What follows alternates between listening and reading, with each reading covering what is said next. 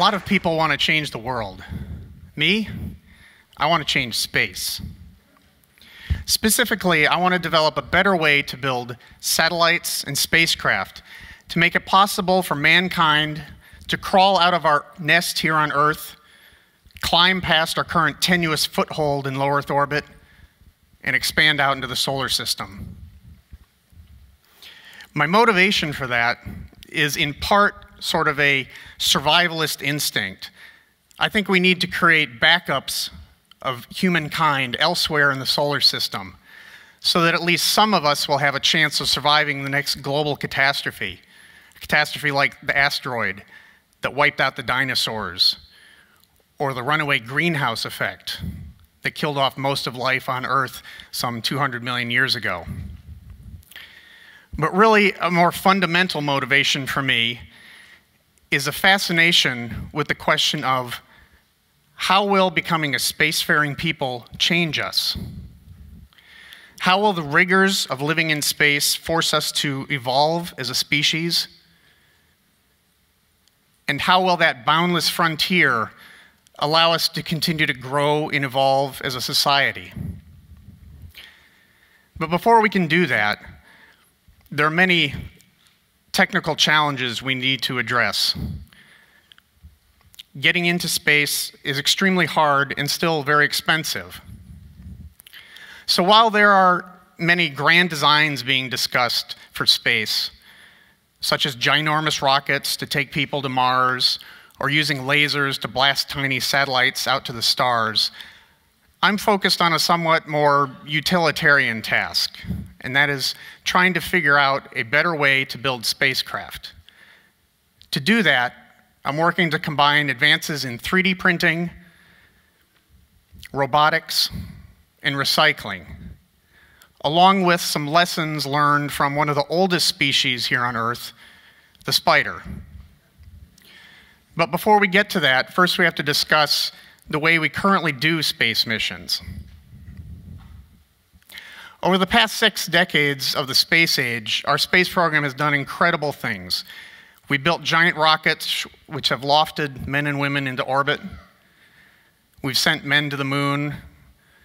And we've built a space station. But unfortunately, relying on that current way of doing space missions is an evolutionary dead end. Why is that? Because our infrastructure for building space, space systems is entirely earthbound. That means we have to build everything here on Earth and then use a rocket to blast it up into space.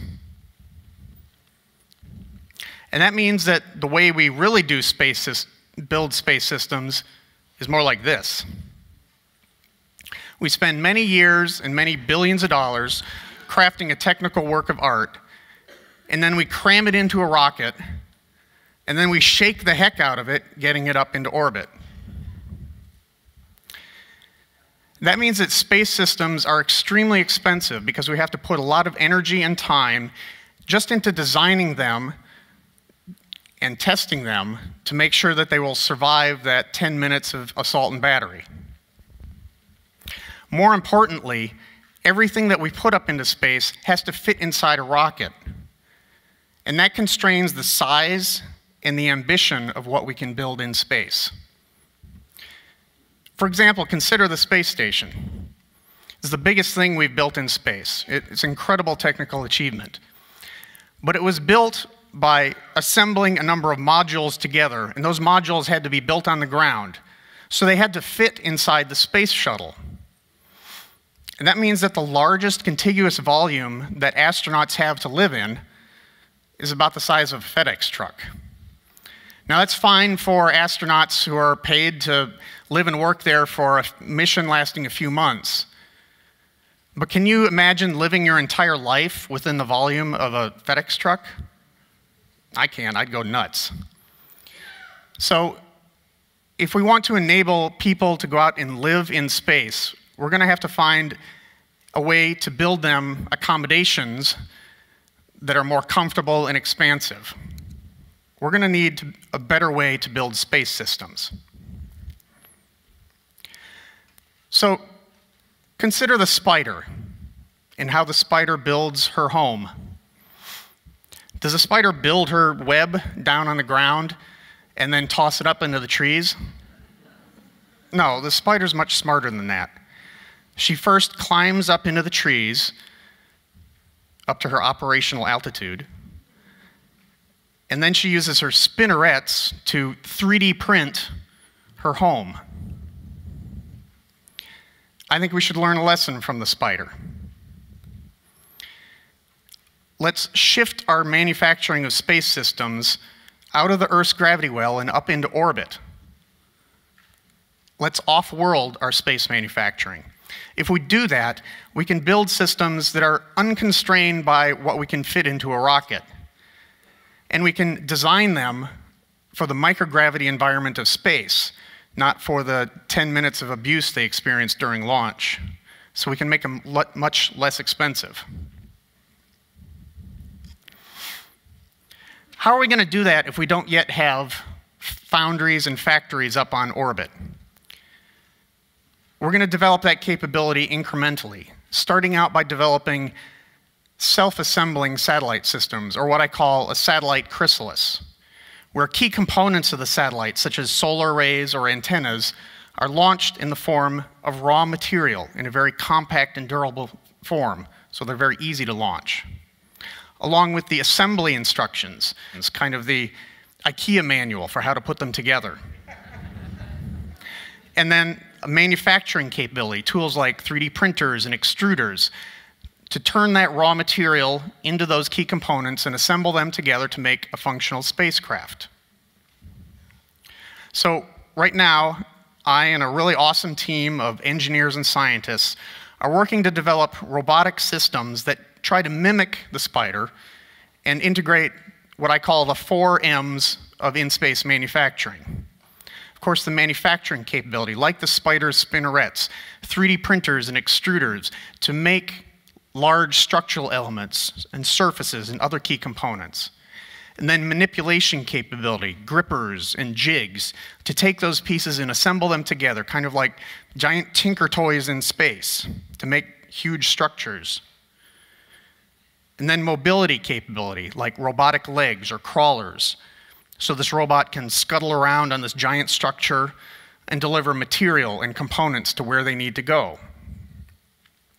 And then, of course, measurement capability, the eyes and the feelers, so it can sense what it's building and adjust itself so that it ends up with the shape and the performance that it requires. So this is an a illustration of a spider fab robot building a giant hoop structure intended to support a very large antenna, an antenna that could be the size of a football stadium. And once it's built up that structure, it can then lay out reflective membranes or solar cells or other components to build large antennas, large solar arrays, or even pressure vessels in which people could live. So if we can learn how to build in space, we can make systems that are much larger than we can currently contemplate. For example, a telescope, the mother of all telescopes, the size of a football field, able to snap pictures of planets orbiting other suns. Think about that for a moment. Someday there may, be, there may come a day when a system like this actually captures a picture of an Earth like planet around another star. And its instruments collect proof that there is life on that other planet. How is that going to affect our view of our role in the universe when we know that we're truly not alone? How is it going to affect our religions when we learn that ours is not the only Eden? But the impacts of manufacturing in space aren't just for space. We'll also be able to build fleets of small satellites, each with a giant antenna built in space, as big as this auditorium, able to beam Wi Fi directly to your cell phone anywhere on Earth. There'll be no more data roaming charges. Imagine that. but looking back out into space, imagine giant donut shaped habitats spinning out beyond the moon big enough to support cities worth of people living, working, playing, and building a society out beyond Earth. Right now, that kind of idea is an idea. It's science fiction. It's not possible.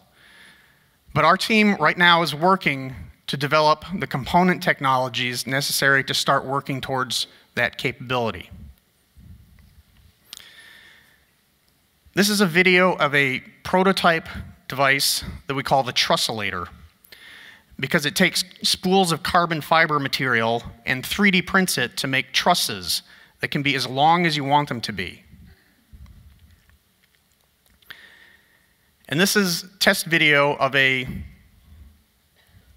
low-cost industrial robot that we upgraded with new vision-based software to enable it to figure out where these trusses are and grab them carefully and then position, manipulate and position them so it can assemble big structures. And because it's so expensive to get material into space, we need a better way to acquire the material we need to build things in space. Now, the spider eats bugs and digests them and turns them into silk. We're not going to do that. but what we're going to do is recycle things. This is a early prototype of a device that we call the refabricator. This is a payload that we're putting together to send up to the space station in 2018. And it combines a recycling system with a 3D printer. So it will enable astronauts on the space station and hopefully eventually Mars missions to take plastic waste, such as Ziploc bags or packing material, and melt it down and turn it into 3D printer filament. And then use that 3D printer filament to manufacture satellite components, or the tools and replacement parts that they need to keep their spacecraft functioning. So we're going to be developing these technologies and integrating them into these self-assembling satellite systems. And once we have those capabilities proven, we'll be able to start building a factory in space, kind of an orbital shipyard.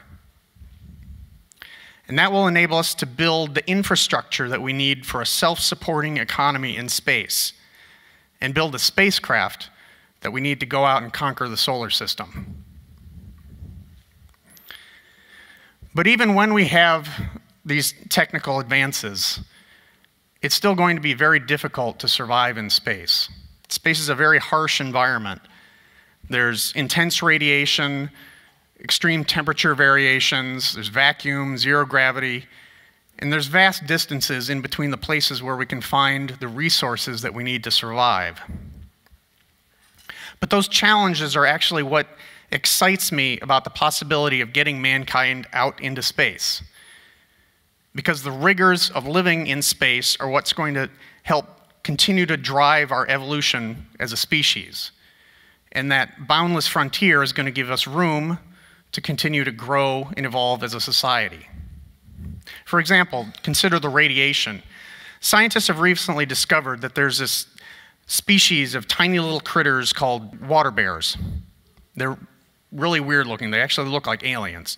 But their DNA protects them from radiation. And they're actually able to survive in vacuum.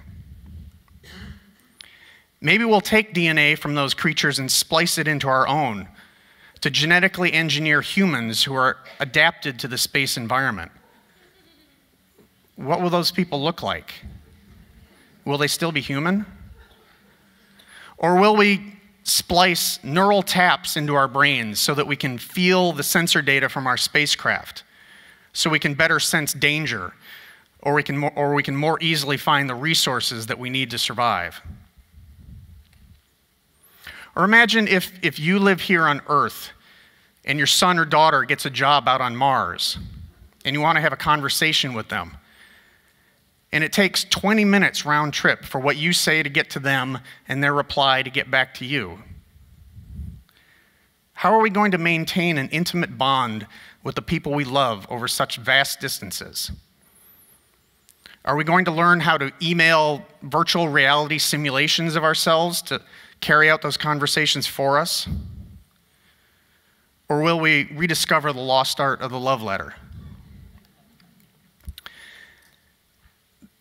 The astronauts who visited the moon often speak of a transformational experience that they had, looking back on the orb of the Earth, a tiny blue orb in this vast sea of dark.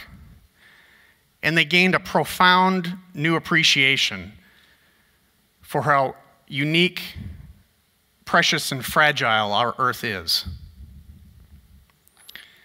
How is our art, our music, our literature, our relationship with nature going to change when many more of us have the opportunity to go out and confront the universe and have time to contemplate our role and our meaning within that infinity?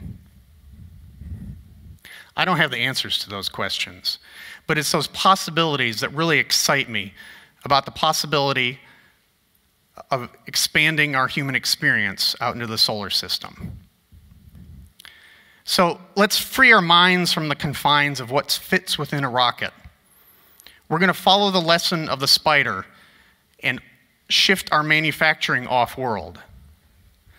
We're going to become makers in space so we can go out and build a robust and durable future out in the great dark yonder. Thank you.